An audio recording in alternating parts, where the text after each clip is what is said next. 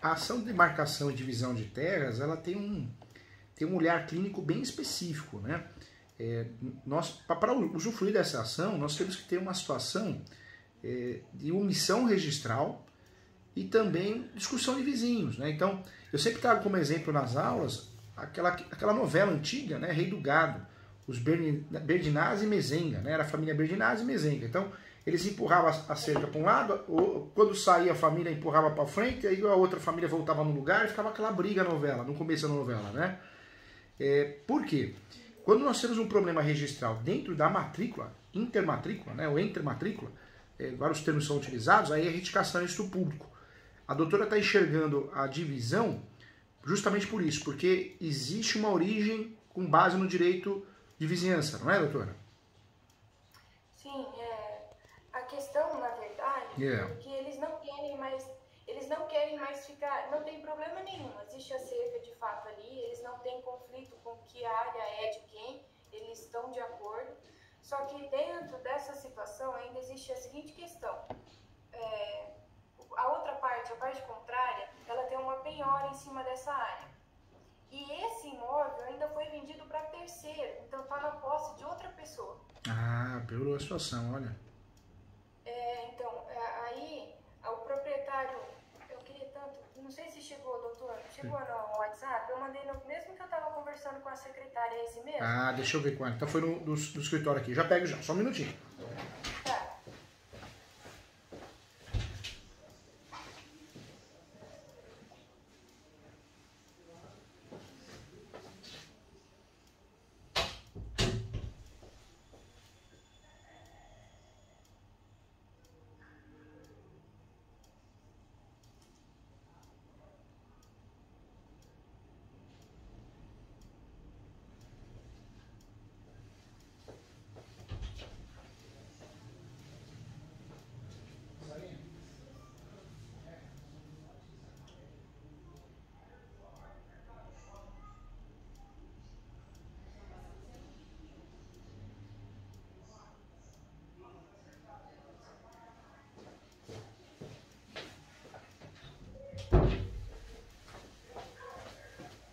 Pronto. Já deu certo aqui. Agora já chegou no meu, eu consigo ver. Eu tô vendo um mapinha. Eu mandei aqui, vou abrir aqui, ó. Aí o imóvel, objeto da divisão... É ah, tô vendo aqui. É o mapinha, né? Isso. Esse que eu fiz o retângulo é, é o imóvel, objeto da divisão. Tá. Essa, essa no meio, ela já existe. É uma cerca que existe de fato. Agora, as que delimitam o imóvel não existem. Aqui não. eu coloquei em amarelo, não há divisões de imóvel, nessas que dividem. Por quê? O proprietário B, que é o meu cliente, também é proprietário das áreas ao redor. O proprietário A, ele figura como proprietário tabular do outro lado da, minha, da matrícula objeto da divisão. Só que ele não é o possuidor. Além dele ter sofrido uma penhora em 1994 e o processo está arquivado, ele vendeu isso daqui por contrato de gaveta possuidor é, A. E o A, ele regularizou as áreas ao redor, ele fez uma retificação, ele está ao redor ali, ele já é proprietário tabular, mas dentro do meu imóvel ele figura só como possuidor. Entendi. Então, na verdade, o seu cliente hoje, ele tem um registro, né? Ele tem a certidão de propriedade. Tem, tem. a parte ideal, 70 e 4% aproximadamente. Essa ação, a demarcação e a divisão de terras, é uma ação muito interessante. Mas a gente, eu sempre gosto de conversar para te proteger, sabe, doutora? Proteger o seu nome, proteger o seu cliente, porque é uma açãozinha que ela é muito boa quando nós usamos, mas se a gente perder o eixo dela, a gente acaba confundindo com alguma questão processória, alguma questão de edificação do público, e aí o ruim é que a gente acaba fazendo ação, e o judiciário, com a vontade que tem hoje, né, aplica a jurisdição defensiva e fala que não tem, não tem o que resolver e acaba extinguindo a seleção do mérito. É um risco nosso, então precisa tomar cuidado. Então, fico feliz, fico feliz de ver o mapinha, fico feliz de entender que realmente é, não é uma discussão de posse possessória, não é uma discussão é, de um vício né, da matrícula dentro do cartório. Então, realmente é, tem a ver com a demarcação. É, a doutora não quer, não quer acumular os pedidos de demarcação e divisão. Por que, doutora? O que está passando na sua cabeça? Deixa eu entender para te ajudar. É, foi mais porque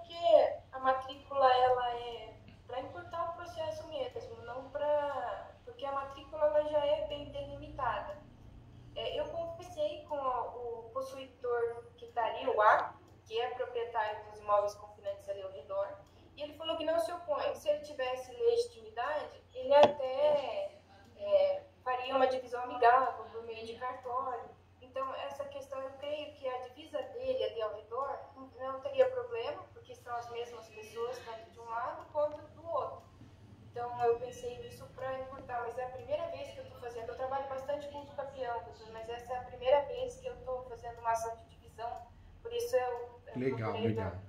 Conta comigo, eu não, eu não sei se a doutora conhece, mas esse meu livro aqui, ele ganhou um prêmio da revista Four Times, é um, um livro que eu consigo escrever muito, é, explicar muito bem a divisão de terras. Então, se a doutora tiver a oportunidade, Direito Civil, esse manual doutrinário de jurisprudência é muito legal. E tem um outro, né, que eu, eu falo que é o queridinho de direito imobiliário hoje no Brasil, né? É, eu não sei se a doutora conhece, esse aqui. Ah, a doutora tem? Também muito legal para estudar. Legal. Ah, que orgulho, que felicidade. Eu comprei, eu comprei esse e esse aqui. Ah, que legal, que legal, que honra. Doutor, depois manda, tira uma foto e manda no WhatsApp, no WhatsApp do escritório. Aí ele divulga no Instagram, viu? É falar, ó, para profissional de elite, é legal fazer uma propaganda, eles fazem um trabalho bem bonito lá, editora, viu? Parabéns pelos livros. Esse livro de Direito Mulher Advogado de Sucesso, ele é apaixonante, ele é um manualzinho gostoso, né? Às vezes você está com um caso ali conversando com o cliente, você vai só um minutinho, tchum, consegue encontrar de forma mais fácil, né? Eu falo que é a colinha que, ó, a nossa mente agradece, viu? Nossa memória. Ai, ai. Doutora, eu faria, sim, com muito carinho, eu faria a junção, a acumulação dos pedidos. Por quê? É, mesmo que está muito bem definido nas matrículas, as áreas, mas isso é uma questão psicológica, né? É, se a gente olhasse para o lado do atraso, a celeridade processual, ah, mas vai atrapalhar? Não vai. Não vai porque, na verdade, o trâmite mais cansativo é a demarcação. Né? É, tanto é que a demarcação sempre vai ser julgada antes da divisão, sempre. É, hoje, o juiz ou a juíza ele vai acabar nomeando um, uma pessoa para fazer uma topografia. Isso vai acontecer, por mais que a gente já tenha, eu vejo que já está lá desenhado, croqui bonitinho é, mesmo que a gente tenha uma matrícula, mesmo que a gente tenha uma planta descritivo, nessas ações de divisão e marcação de terras, normalmente o judiciário vai. Vai nomear um perito, pelo tamanho da área, pode ser que ele cobre 3 até 5 mil reais, 6 mil reais, mas vai nomear, vai nomear um perito. 14 hectares a área. É lá. É, pelo, pelo desenho da área, talvez chegue um pouquinho mais. Então vamos calcular uns 8 mil reais essa perícia aí. Se, se aparecer um perito que cobre um valor maior que isso, dá para a gente impugnar, dá para pedir a troca do perito ou da perita, né? É, ou parcelar também. O mal de parcelar é que hoje o parcelamento os peritos só entregam no final, né, do último pagamento da última parcela, né, diferente do advogado, né, que trabalha antes de receber. O perito só, tá, só entrega a hora que pagar. Mas o judiciário tem, tem pedido sim a perícia, até para tirar um pouquinho da responsabilidade dele ou dela. Então eu acredito que acumular os pedidos aqui não vai atrasar e vai ajudar a doutora em questões é, pessoais e psicológicas subjetivas, né? É, a hora que sai a decisão e o juiz ou a juíza deixa claro que a área está demarcada e dividida, por mais que a, a divisão nós já sabemos que é um pedido que não, para nós vai ser procedente, porque já está muito bem dividido, mas isso é bom, isso é bom porque nós vamos reafirmar isso na sentença, para evitar uma discussão amanhã. Como em relação ao atraso processual nós não vamos ter, não vai mudar muita coisa em relação à celeridade, eu faria esse pedido também da divisão, viu, doutor? da divisão e da marcação, eu faria acumulação. O judiciário é obrigado, é, o judiciário é obrigado, doutor, de, sempre, né, decidir pelo menos a demarcação antes da divisão. Então, a ação de, de demarcação e divisão elas podem ser acumuladas, mas a regra das normas da corregedoria e do Código de Processo Civil é que o juiz ou a juíza decida a demarcação primeiro. É, isso é bom, isso é bom porque a doutora vai ter aí é, a decisão numa sentença só mas uma decisão prévia. Então o cliente ele acalma, né? A hora que ele vê que foi demarcado, eu faria assim, faria acumulação, viu, doutora? Tá certo, vou fazer isso também, doutor. E uma outra questão, aí, ah, quanto ao credor, ele é citado como interessado daí também, né, doutor? Ele é citado como interessado. Ele é citado como interessado. É, quando ele não é citado por interessado, o judiciário normalmente pede a citação dele. E alguns juízes é, que acabam sendo omissos em relação a isso, talvez está acostumado com outras demandas, é, também normalmente ele aparece como terceiro interessado, ele permite habilitação nesse tipo de processo. É porque a preocupação do cliente é que não arraste essa penhora para a matrícula que vai abrir para a parte dele. Então, apesar de que não tem risco, porque a gente já viu, invadiu a parte dele, né? a gente já fez a medida de ambos os lados, é, deu certinho as a proporção da matrícula para cada um dos coproprietários. Então, é, mas mesmo assim eu, eu achei interessante citá-lo então como interessado. É, pede sim a citação como terceiro interessado, e a doutora pode usar o quê? O princípio da boa-fé e da cooperação. Sim. É, com base no princípio da cooperação, é, onde o objetivo é auxiliar o judiciário a julgar de uma forma concreta, fazendo um julgamento de alto nível, requer a citação como terceiro interessado. E o judiciário vai acatar, vai acatar e a doutora demonstra realmente boa fé, cooperação. Acho que fica bem, bem interessante, bem inteligente essa ideia, essa estratégia, viu? Tá certo. Uma outra questão, doutora, é com relação a esse possuidor. Ele não figura né, nem como interessado nessa ação, apesar de que ele vai ser citado na demarcação. Mas aí ele não vai, ele, na divisão ele não é nem interessado, né? Na divisão ele não é nem interessado. Na verdade, o possuidor, se ele tiver mal orientado ou não orientado, que, que ele vai fazer? Ele vai fazer um escândalo, vai questionar, mas isso não vai surtir efeito. É, ele só atrapalharia a gente, de fato, se ele distribuísse uma ação do escapião, alguma coisa assim, pleiteando a súmula 237 do Supremo, aí ele poderia criar um probleminha ali, né? De forma geral, atrasar o processo, não criar um problema em relação à decisão definitiva. Mas em regra ele não tem muito o que fazer, não. Mesmo ele sendo citado, é, o que ele levar para os autos não vai ser muito relevante, não. O próprio, o próprio meio, né? o, a, contestação dele, a habilitação dele, não configura como parte legítima na ação, ele não configura nos polos, então ele pode fazer um escândalo ali na ação, só para atrapalhar, atrasar, mas não causa efeito em regra, viu? Tá certo. E é necessário, uh, pela boa fé também, uh, fazer essa citação a respeito ou é um fato que pode ser omitido? Nesse caso, nesse caso eu já faria omissão, porque a gente vai cutucar o vespeiro. Quando ele recebe a citação, ele vai fazer um escândalo, né? Então, eu, eu como a, a, regra do jogo aqui permite que a gente ou deixe ele de forma. esquecer dele, né? Omita. É interessante omitir. Omitir porque a gente evita uma dor de cabeça futura, né? Tá certo. Eu acho que as dúvidas eram essas, doutor. Doutora, não esquece nessa ação de usar o artigo 1320, viu? É, do Código Civil, que é aquele artigo que fala do tempo que será lícito o condomínio exigir a divisão da coisa comum. Lembra desse artigo? é, usa porque ele, na verdade, é o grande núcleo dessa ação da doutora, pela linha de raciocínio, ele é o grande fundamento, é a tese focal, a, te, a tese, da, a tese conexa, né? Então, só que os meus, é, o senhor fala daquele período de cinco anos, né? É, na verdade, é, é, esse artigo, ele fala o quê? Ele fala que é lícito o condômino exigir a divisão de coisa comum, é, ah, tá. respondendo sobre o quião. Por quê? Porque é o que a doutora quer. A doutora, o cliente, ele deseja o quê? Uma confirmação mesmo já existe a matrícula. Na matrícula está muito bem definido. Mas para evitar esse, esse encrenca em relação ao direito de vizinhança, esse artigo ele faz um fundamento legal. Tá. E aí trabalha com esse artigo e os, os 667 até o 981 do Código de Processo Civil. É, dá para usar o, o artigo 967 até o 981. Então, 967 até 981, no Código de Processo Civil. Lá do Código Civil, pra, para nós, vai ser importante o 1320. É.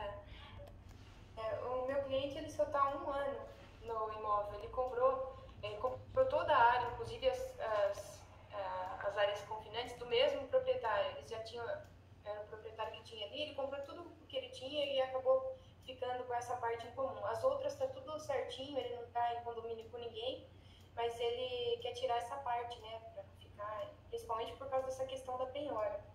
Mas ele só está ali há um ano. Também isso não impede, né, doutor, aquela questão da, não é, impede. da convenção, não, porque não existe uma Não impede, e aí eu também queria, eu queria também lembrar a doutora, para até trazer um pulo do gato, né, porque o judiciário está terrível, né, doutor? É, tem muito juiz, juiz, juíza, servidores decentes, que gostam do que faz. Mas tem muita gente ruim, eles estão aplicando jurisdição defensiva, eles estão se livrando dos processos. Então, é, doutora, para não cair nessa de jurisdição defensiva, usa também o artigo 65 da, da Lei do Estatuto da Terra, que é a Lei 4.504 de 64. O que, que diz, né? É o artigo 65 da Lei 4.504 de 64, o Estatuto da Terra. Ele esclarece é, a respeito da imprescribilidade da ação divisória. Ou seja, não tem prescrição. É, não existe uma discussão, é, essa discussão pode ser levada à tona a qualquer momento, né? Certo. Ok, eu agradeço pelos esclarecimentos, viu, doutor? Agradeço muito pela atenção, pela ajuda. Desculpa até trazer as questões de artigos, mas a minha intenção sempre é te proteger, te ajudar, e aí eu fico preocupado porque eu quero o teu bem. Então, como nós sabemos do que vem do lado de lá, né, eu quero te proteger. A doutora pode trabalhar com esse artigo 65 que eu falei da lei do, da, lei do Estatuto da Terra, pode trabalhar até em preliminar, falando que não tem prescrição, é imprescritível, dá até para entrar, depois entrar no mérito, né, ou nos fatos, entendeu, doutora? Entendi. A minha intenção é que a doutora não caia em golpe, né? O judiciário, infelizmente, nós temos aí é, julgados horrorosos, né? Então, não pode, não pode, a doutora não merece isso. A doutora é um baita advogado, excelente profissional. Tá certo. Eu agradeço pela, pela atenção que vai dar profissional, senhor doutor. Eu agradeço, fico feliz pelo elogio. Para mim é combustível para continuar. É, obrigado, agradeço muito fazer a leitura dos meus livros e queria convidar a doutora para fazer a minha pós, entrar no site Portal ESO. É, eu leciono em pós-graduações, coordeno pós-graduações que chegam a custar 20 mil reais. Né? Sábado mesmo eu dei aula na IPD, a Escola Paulista de Direito Presencial. A pós lá custa 20, se eu não me engano, cai para 12. É, mas o meu sonho é levar conhecimento e a pessoa ter condições de pagar. Então foi criado o ESO é, junto ao Inesp, na faculdade Inesp. É, são pós-graduações de alto nível, mas custa R$ 958,80. É, é online, mas tem plantão de dúvida uma vez por mês com o coordenador, com os professores do curso. Então tem aulas remotas uma vez por mês. É fantástico. Nós estamos indo para a quinta ou sexta turma. É muito legal. Eu convido. Eu doutor, eu estou fazendo uma pós e me arrependi. Eu vi a do doutor depois, eu fui conhecer a, a pós do, do doutor depois. Eu já tô, eu já estou fazendo uma de direito imobiliário também, mas eu me arrependi bastante. mas veja, qualquer coisa, tem muitos alunos, né? A Sara mesmo, eu fiz sustentação oral para ela, uma aluna. Ela estava fazendo uma pós, pagando um valor caríssimo. Falou, professor Júlio, me venderam que era prática e não é, não tem nada de prática, fica repetindo o que eu aprendi na graduação. E aí ela tá, tá conosco, né? Acho que ela finalizou, inclusive, ela tá na turma que finalizou. Então, doutora, fica à vontade, vem, vem, vem sim. 958 reais é preço de cursos por aí, que você paga cursos desses profissionais que prometem que você vai ganhar 30, 40, 50 mil reais por mês. Pessoal, né, vendedor mesmo. É uma pós que tem começo, meio e fim. Então, tem muita gente fazendo outra pós, em paralelo fazendo essa, ou deixando de fazer a pós, pagando até a multa lá, compensa pelo preço. Eu te convido porque realmente é apaixonante, viu? É, eu vou, vou pensar assim, vou ver quanto é a rescisão, qualquer coisa. eu volto, doutor. Tá bom. Conte comigo, precisar de mentorias, eu estarei sempre à disposição, tá bom? Eu agradeço. Fique tá com Deus, tá? Você e toda a família, parabéns pelo bebê. Muita saúde, paz, amor para ele, tá bom? Amém. Obrigada. Tchau. Tchau.